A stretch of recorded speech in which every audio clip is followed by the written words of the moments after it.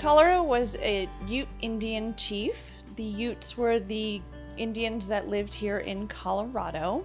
Colorow and his family lived in the Front Range area. They lived up on the top of Lookout Mountain. They camped down along where the Rooney Ranch is. So they were very much in this area. There's not a lot known about Colorow, so we thought it would be a good topic to cover. One of the sites that we cover here in the exhibit is the Colorow Council Tree, which is on open space property. It's part of Matthews Winters Park.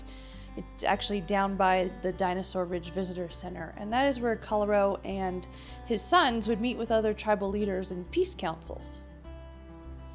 We have a lot of photographs in the exhibit of Colorow, but also just general photographs of the Ute Indians. Um, we have artifacts. Some are Ute artifacts, some are just representative of traditional Indian artifacts, but we collaborated with other museums. For instance, the University of Denver Museum of Anthropology is where we borrowed a lot of the artifacts.